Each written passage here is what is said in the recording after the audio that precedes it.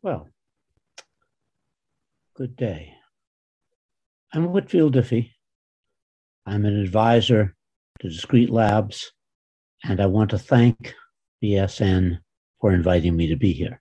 So, anybody who's listened to me talk in quite a while knows that I think we're in the midst of a process that is unprecedented in five or 7,000 years. We're in the process of moving our civilization into cyberspace. And the last time we did anything like that was when we moved into cities. So before cities, you lived all your life in the natural world. But once people began to live in cities, they began more and more of their time to spend their time in an environment that was created by people. And that means they had control. I mean, to some, they could build the environment the way they liked it, or at least the way some people liked it. And as time has gone on, we have become more and more and more capable of doing that. And cyberspace, I want to say it's the ultimate, but it probably isn't. It's the current you know, transition into a human created world. So every aspect of our lives, you know, work, leisure, parenthood, entertain, all of these things are being affected. And one great aspect of all of this is privacy. And so I'm going to spend a few minutes just talking about what is involved. Privacy is a widely misunderstood concept, and maybe, you know, not adequately understood concept. It's very much associated with confidentiality. Not surprising. Um, on the other hand, it's also very closely associated, maybe more closely associated, or should be, with accountability. So if you think about living in a small town, right? In one sense, you have no privacy. Everybody knows what you do. Everybody can see, you know, who, who goes out and walks in the streets and all those things. And at the same time, people in small towns don't feel that way. And it's because they are communities of peers. And you know, the people know a lot about you, but you know a lot about them also. Right? So it, it has a lot of symmetry to it.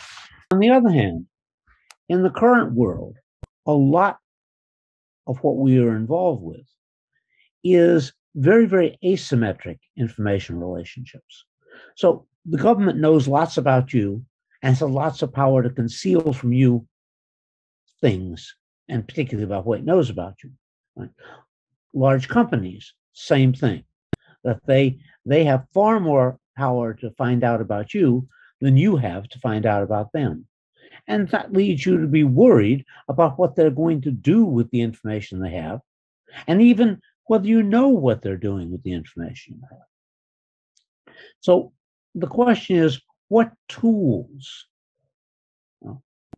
In the past, you might have protected your privacy by taking a back route to somewhere you're going so you wouldn't be noticed. What do you do on the internet? What do you do on the web? What do you do in cyberspace in general? And so privacy consists of control of information, and there are a set of tools for doing that. That isn't all. Right? In the classic world, we had legal quote rights to privacy. Um, have varying allegiances of people to those rights. So, uh, doctors take an oath in the West called the Hippocratic Oath uh, that dates back to, to Greece about 2,500 years ago. And that says, in effect, that they will respect the privacy of their patients. And that's often in conflict with their relationships with insurance companies, governments, courts, etc. And depending on whether their allegiance is stronger to their professions or stronger to their incomes, uh, to sense of law and order, many other things, they will act in order to either to protect their patients or to out their patients if they if they feel that's either right, more expedient, lots of possibilities. In the classic world, you had hiding places. You have and still have, very interesting, you know, language has a tremendous influence. And imperial powers have constantly tried to suppress the the local languages because when people were speaking the local languages, they couldn't understand them. And they've tried to force them to speak the language of empire, Latin at one time, English in a lot of part of the world today. Uh, and those things are not normally thought of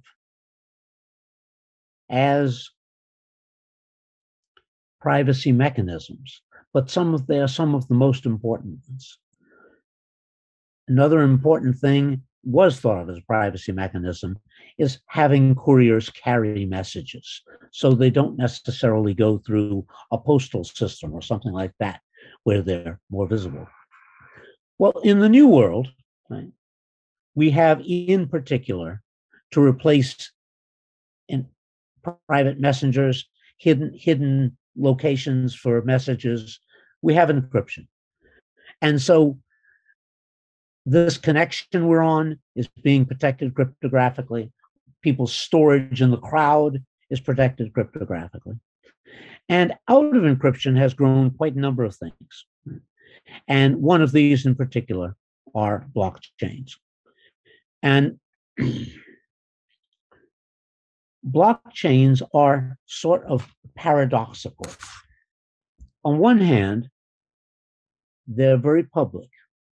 And the same matter, that degree of publicness, uh, makes it possible for them to assist with privacy.